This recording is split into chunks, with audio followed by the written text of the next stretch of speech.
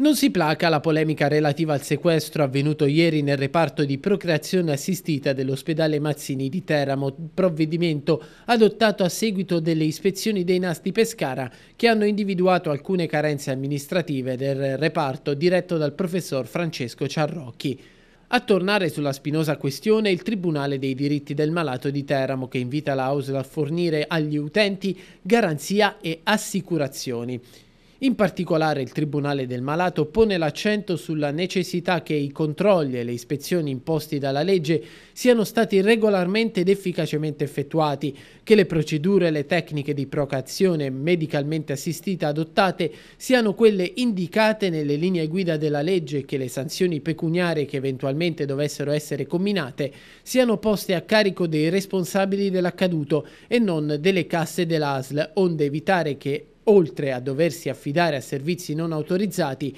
i cittadini debbano accollarsi anche le conseguenze economiche delle sanzioni per irregolarità di cui non sono responsabili. Il Tribunale per i diritti del malato conclude il comunicato dicendosi perplesso per il fatto che le delicate e complesse attività di questo tipo possano svolgersi nell'inosservanza di disposizioni di legge. Dal canto suo la AUSL di Teramo risponde che il sequestro del laboratorio non impedisce in alcun modo le normali attività del centro di fisiopatologia che continua con il personale medico ed infermeristico e con tutte le attrezzature la normale erogazione dei servizi. La nota della AUSL chiarisce anche che non c'è nessuna disfunzione qualitativa e nessuna sospensione di assistenza e rassicura la cittadinanza che le attività dell'ospedale Mazzini di Teramo sono e restano assicurate e sono e restano all'altezza delle richieste e degli standard assistenziali necessari per un presidio sanitario importante come quello del capoluogo.